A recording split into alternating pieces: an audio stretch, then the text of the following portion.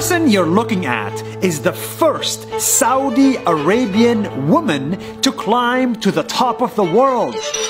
Yes, she climbed the world's highest mountain and she was the youngest Arab to do so. How did this Arab woman make it to the top of Everest? And what did other men in her country have to say about it? In Dubai, United Arab Emirates, I found Raha. Hi Nas Daily. I'm Raha and I'm the first Saudi woman to climb Everest and the seven summits.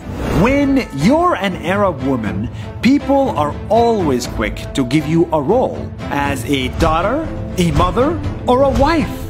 But Raha did not want to just stay at home. She wanted to conquer the world's highest mountain, Mount Everest, something no other woman in her country had ever done before. I remember when I first started telling people that I wanted to climb, nobody believed I could do it. Everyone was very negative, and even my own father was reluctant to accept, but I finally convinced him in the end. So Raha began saving money and started training for her mission. She walked long distances in heavy boots. She carried a 25 kilogram backpack and made herself stronger every single day. I had to train my body, but I equally had to train my mind because a strong mind is critical for such a mission. But this was only the beginning. Because climbing to the top of the world is not easy as you can imagine, especially when you're from the desert. And on the top, you have to deal with snowstorms and freezing temperatures. So you get really weak, you get really sick, and you may even die. I'm supposed to have a fantastic day. And as you can see, it's miserable.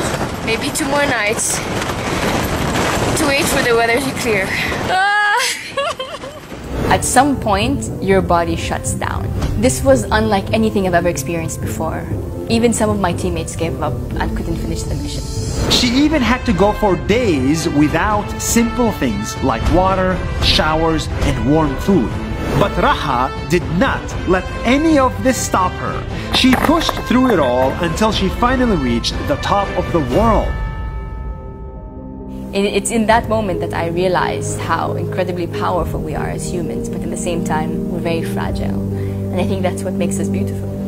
And she didn't stop there because she went to climb even more mountains until four years later she became the first Saudi woman to climb the highest peak in every continent, not just Asia.